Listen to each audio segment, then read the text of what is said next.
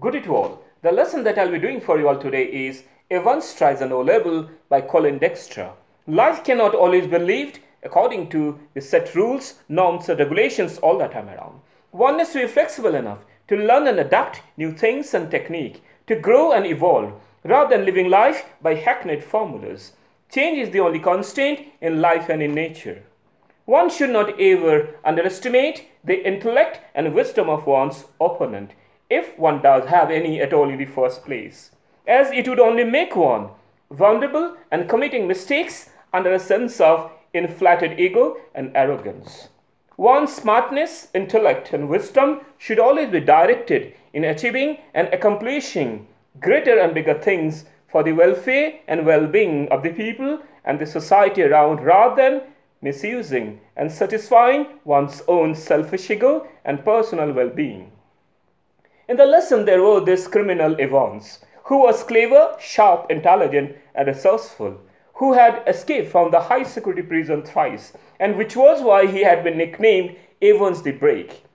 And more often than not, we could not help but would end up admiring him for his ingenuity, who showed his skillness in advancing his German language skills, though in reality it was nothing but a smart ploy on his part the governor of the prison himself made sure that all the arrangements were in place for. Extra precautions were taken by the officials as they did not want to take any chance whatsoever this time around for.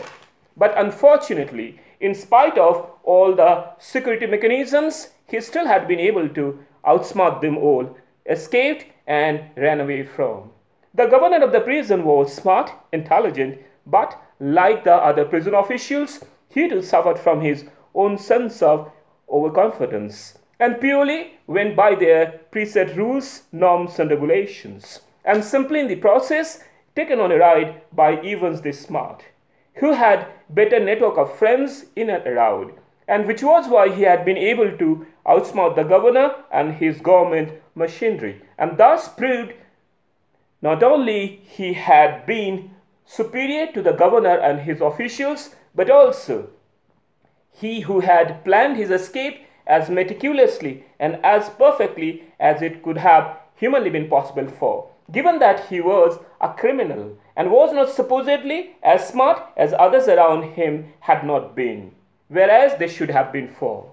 Please work around with the dictionary for the following words for their etymology, usage, and definition. Hackneyed, vulnerable, ingenuity, ploy, congenital, kleptomaniac, incommunicative, reiterate, nagging, grubby, burly, curtly, smoldered, leered, contemptuous, loath, swat, parky. Thank you.